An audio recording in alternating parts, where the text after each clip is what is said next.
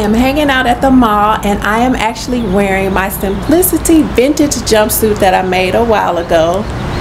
I love this jumpsuit and I actually paired it with some Converse but I believe it's so versatile you can wear with boots or just about any type of footwear. And what I'm doing now is I'm actually going to go shopping for a birthday gift for someone and once I leave here I plan to go to Joann Fabrics because I want to get some fabric to make this simplicity skirt.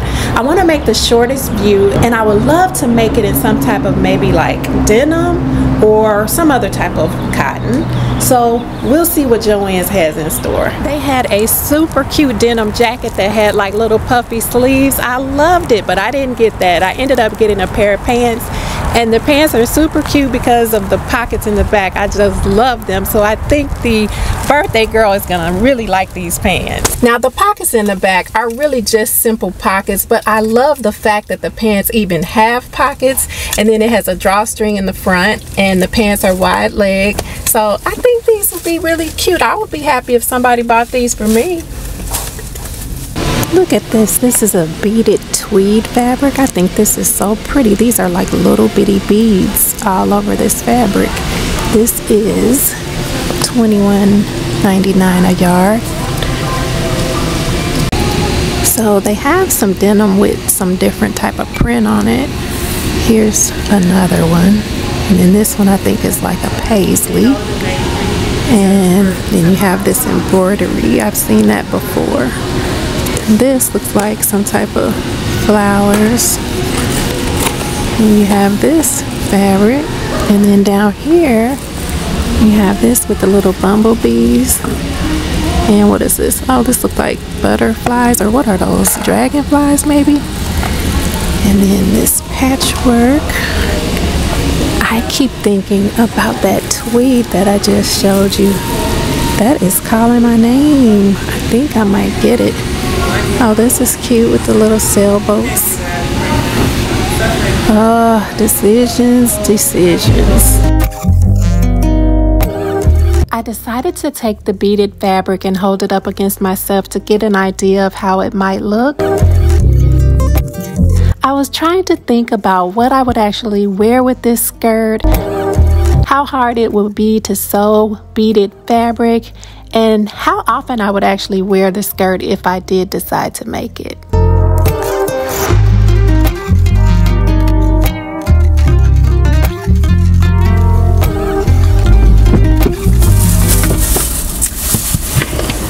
I got the tweed fabric. I couldn't resist. I thought it was so pretty. So it looks like I am going to end up making this skirt twice because I definitely want this skirt in denim. But as I was walking around looking at the denim, I could not stop thinking about this tweed fabric. I think it's so pretty. So when I was getting it cut at the counter, the lady said, what are you making, a skirt? I was like, how did you know? She said, either a skirt or a jacket. And she was right. So I'm going to go ahead and make this skirt. And then I did pick up a zipper. Invisible zipper goes in this skirt. So now I'm ready. Oh, and as far as the care of the fabric, it did say to hand wash it not to iron it and I think there was one other thing. What did it say? Hand wash not iron and I know what it was. Line dry. So yeah I'm gonna go ahead and wash this but I have a hand washing I think I have a hand wash setting on my machine so that's good. And then I will go ahead and line dry and then I'll get started on this skirt. I have all of the pieces cut out and I've already started sewing. And what I did have to do is remove a lot of the beads that are in the seam line so that I can go ahead and just sew straight down without having to hit the beads with my needle. So, so far I have put in the darts and then on this side edge you had to do some narrow hemming. So I did that there and now I'm going to move on to the next step. I've been trying to keep up with all the little beads.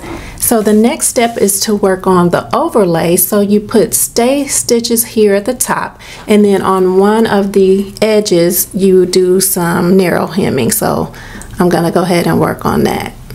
I have the band attached to the overlay and this edge here was folded over and trimmed And now I'm just going to fold it back onto itself. I'm going to open up the pressed edge and then I'll pin these two edges together and then I'll stitch from here over to this area here where there's a dot and so I will stop when I get to that dot.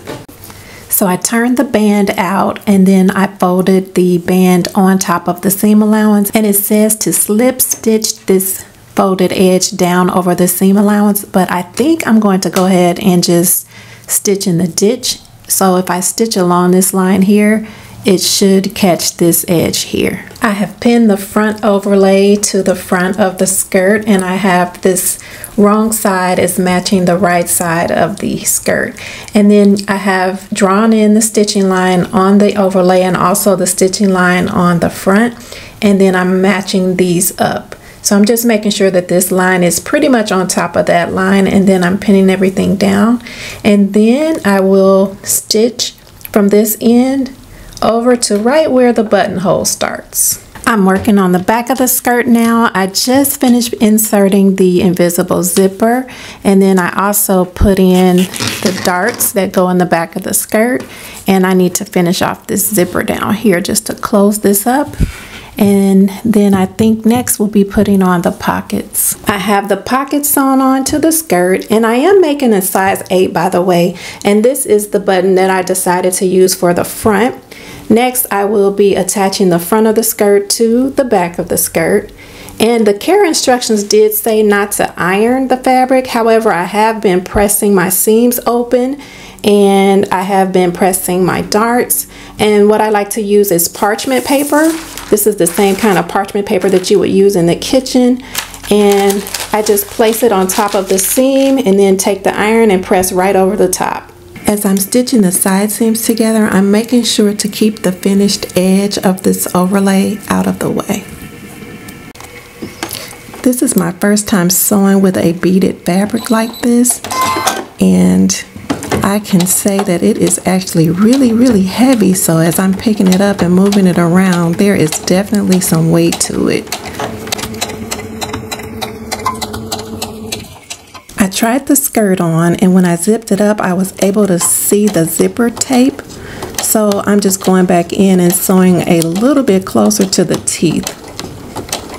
And also for my overlay I use the longer length. So the skirt itself is short and then the overlay is long okay so this is the longer overlay that I was talking about so I could have cut this short so that it would be the length of the view D skirt, but I just decided to leave it long because I thought that might be cute.